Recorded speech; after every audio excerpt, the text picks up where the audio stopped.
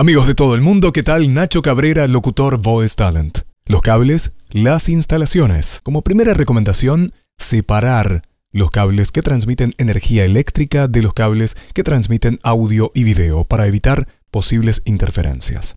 Debemos señalar que no todos los cables son exactamente iguales, ni en sus funciones, ni mucho menos en sus calidades. Existen cables para determinadas funciones, existen cables con mayor o menor calidad. Un punto importante sobre esto, de todas formas, no se dejen engañar por fabricantes que realizan cables muy gruesos, cables gordos, no siempre significan cables de mejor calidad. Contrariamente a esto, hay cables de excelente calidad como los Belden, y no necesariamente son cables gruesos. Así que dejar de lado la vista y dejar de lado el engaño, que es que aquel cable que es más grueso es mejor versus aquel que es más fino es peor.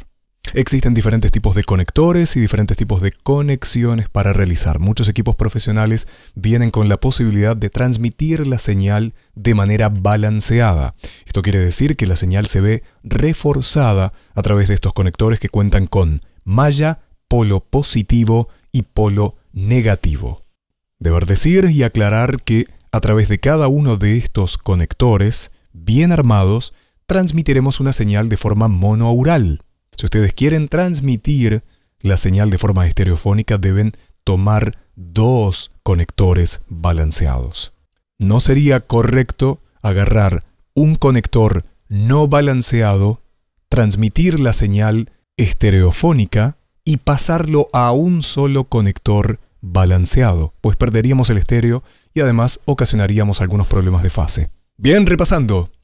Cables gruesos no siempre son de mejor calidad. Cables finos no necesariamente sean excelentes, hay que asegurarse cuál es la marca, el modelo y la función de ese cable. Los conectores, en la medida de lo posible, que estén bien realizados por personas idóneas, soldados de la forma apropiada, evitando el hecho de hacer puentes, de ponerle cinta aisladora en todos los lugares, porque esto va a ocasionar también problemas separar los cables de corriente de aquellos cables de audio y video lo máximo posible.